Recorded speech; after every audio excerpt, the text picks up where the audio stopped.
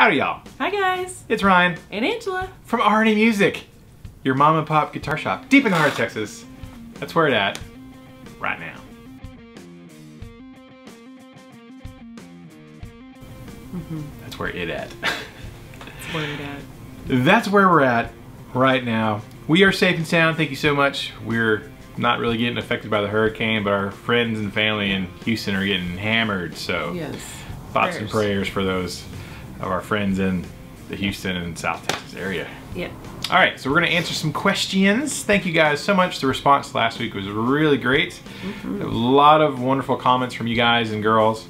Um, I guess a lot of people were really encouraged by our motivational, positive thinking.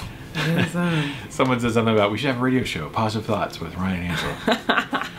and I said, Yeah. well, we've we've kicked around the idea of a podcast, so yeah, we have. we, you know, stay tuned. Maybe something like that will happen. But Maybe. all right, first question. James Smith. Uh, awesome times awesome equals awesome squared.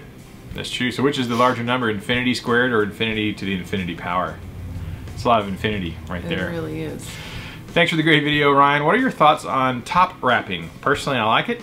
I don't notice any tone change, but having a flatter angle break on the strings is more comfortable to my playing style and palm muting. Thanks again from the left edge of Colorado. There you go. I like Colorado. I think every time someone says that, we're probably gonna say Colorado's great. Yes. We we really enjoyed our, our little really vacation there. it. So Yeah. Ike's trying to get me to move. To Our Denver. youngest wants to live there.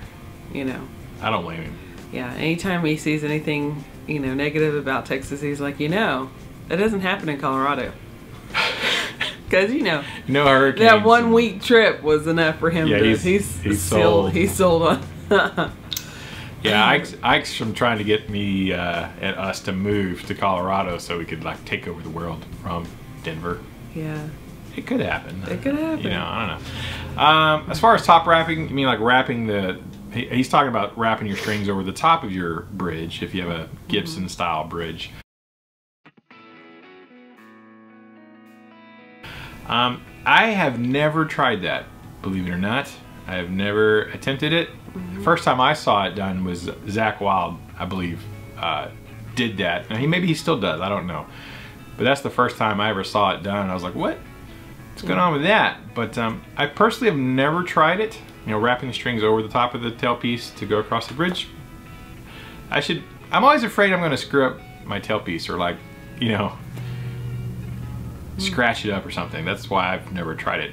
Um, maybe I should try it on one of my guitars that does that. So I don't know. It's never tried it, so it's hard for me to say. Yeah. Um, although I've never really had much difficulty playing the other way, but Right. I should probably try that. Any of you guys who do that, wrap your strings over the top of your tailpiece. I want you guys to leave a comment and give us your thoughts on what you think pros and cons are, if differences or not. So, Yeah. great question, James. I should maybe try that on a guitar. Hmm. Maybe. We'll see. Thanks for the question. Corman Shearmeyer. I tried out some NYXL 10 to 56 because of your videos and I love them. How long did it take you to find the perfect strings and what do you think the best string gauge for a Floyd Rose guitar is? Uh, how long did it take me? A long time, I guess, because I've played a lot of strings from when I started playing guitar when I was Yeah. 12 or 13. Um, I, I played GHS for a long time. I really liked them. I switched to Ernie Ball back in the day because they had the coolest packaging, bright colors, and all the big rock stars played them. So I switched to Ernie Ball because just, you know, marketing was working. Yeah. but uh, I didn't.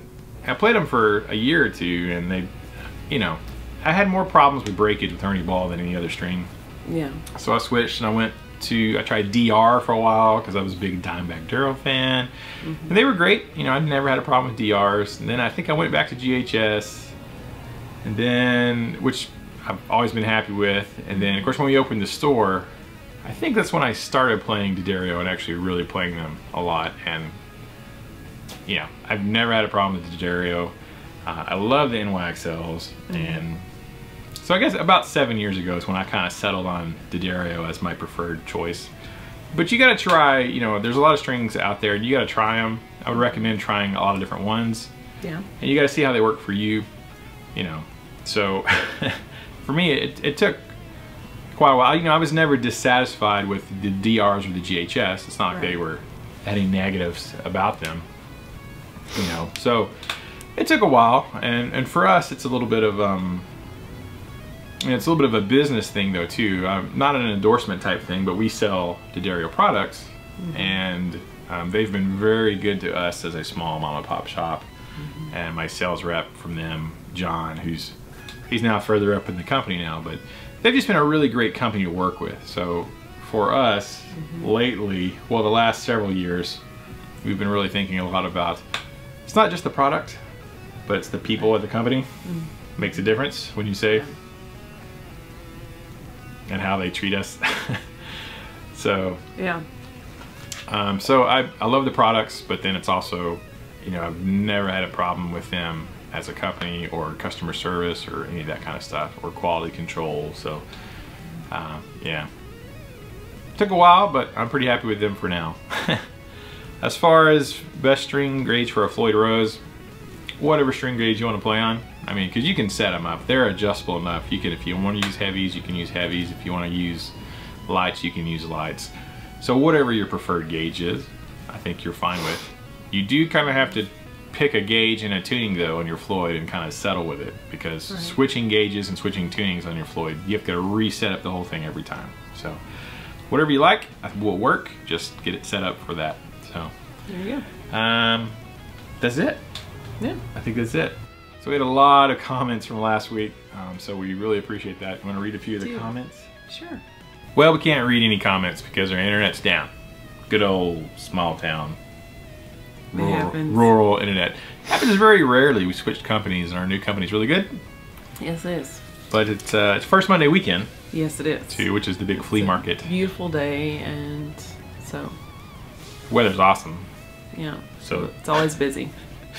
So when 100,000 people come into our town, that's when, you know, the internet gets slow. Imagine that. So Yeah. So we're just gonna wrap it up. we'll maybe read those next week, or we'll just answer questions next week. Just to, we'll see how it goes. So thank you guys so much for your questions. If you have a question for next week,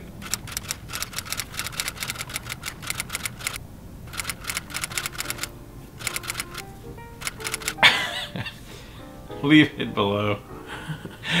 so much editing for me. and we'll answer your questions next week. Thank you again so much for the kind words and the um, the well wishes with all the crazy weather uh, in Texas, and we appreciate that so much. Keep the music alive. Don't forget it. Music needs you. And you need the music. Yeah, and we need to keep it alive for this young generation that has nothing to do with Star Trek. Yes. That's coming up for this next generation of guitar players and musicians and singers and pianists and drummers. Yeah. It's more than just guitar players. Uh, Well, you know, that's why I said. And pianists and drummers and vocalists, and All the children who love music. even bass players. Yes. Even bass players. So we'll see you guys next week. Bye. Bye.